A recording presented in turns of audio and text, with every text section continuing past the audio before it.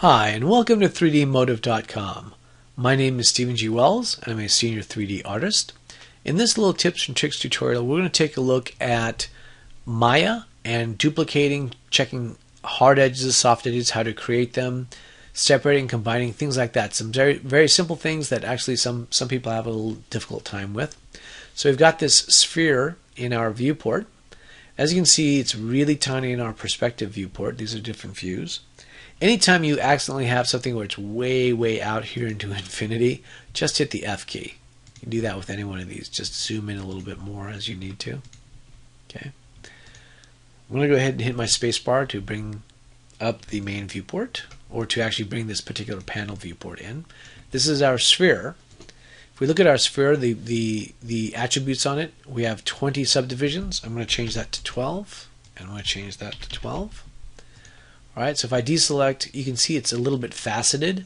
Let's go ahead and go to our shading, and I'm going to turn off the wireframe on shaded. Alright, so it looks pretty faceted. It's not smooth, it's not clean.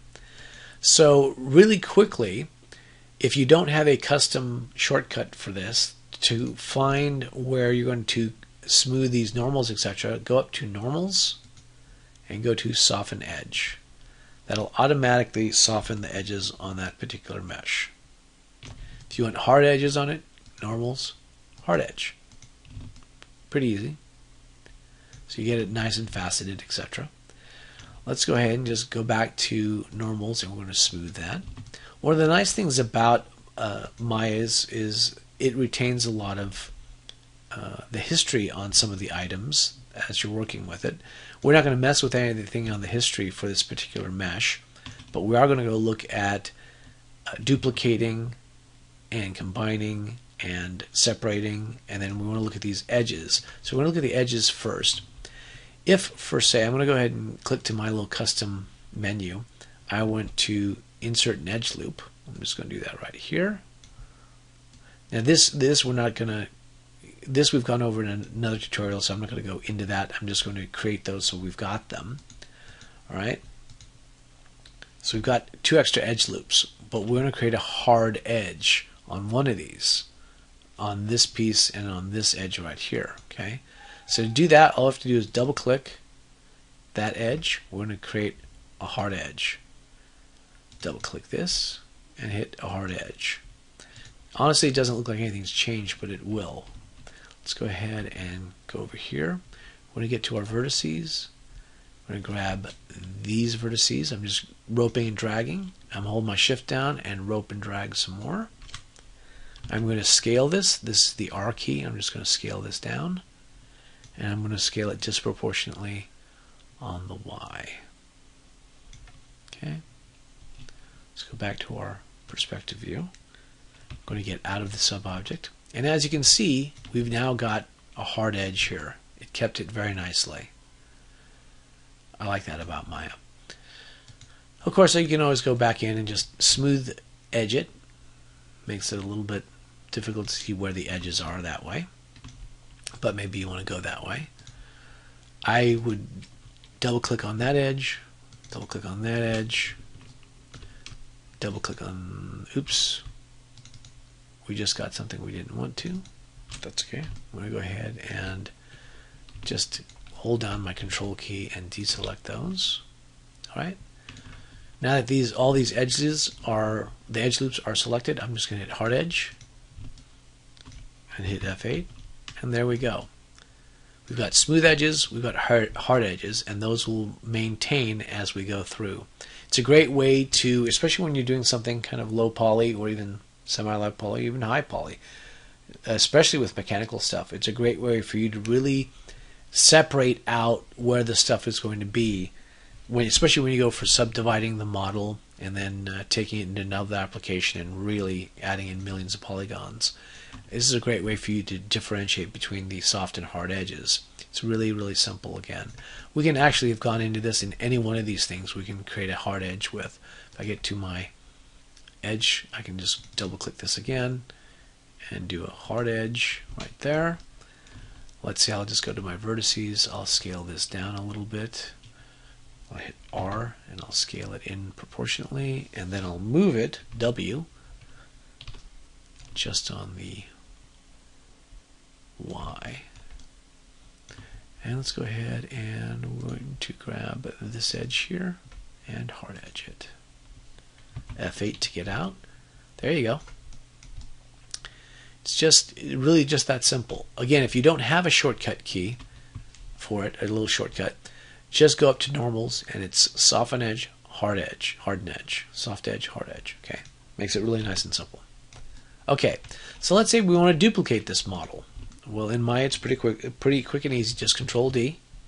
I'm going to move it W, and I'm going to grab one of these little handles and move it out of the way. Alright, so we have two completely different objects. Let's go to Window to Outliner. This is our outliner. It shows you basically everything that's in the scene. We have two different spheres. Well, originally they were spheres. They're obviously no longer spheres. Okay, but let's go ahead and let's say we wanted this to be combined. We want this to be one object. Well, it's fairly simple. You just have to grab them both what do you want to do with a mesh? Well, if you're talking about a mesh, you want to you know, adjust it, etc. Click the mesh up here in the menu. Just go to Menu, Combine. So combine the meshes. So we do have them as one object now. As you can see, here's the object. It's a poly surface. However, you can see we have some remnants left over.